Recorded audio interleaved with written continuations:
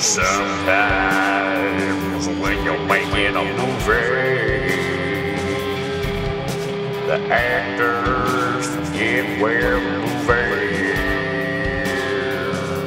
So you gotta point, point in the direction of the movie.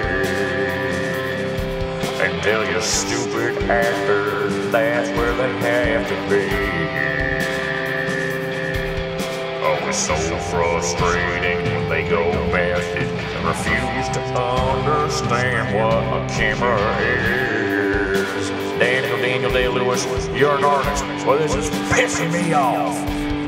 But these actors, they just don't get it.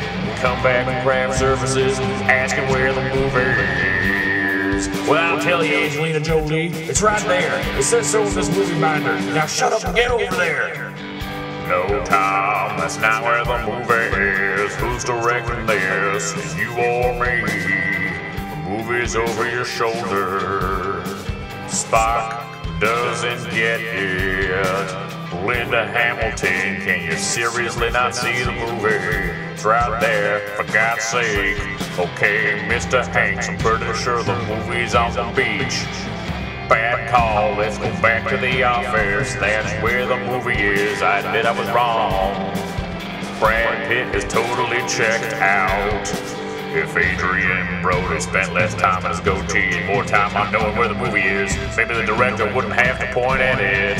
Am I the only one who read the movie binder? Does no one understand compass directions? Everyone who wandered off set, get back over there, damn it. The movie's that way. Come on, let's go.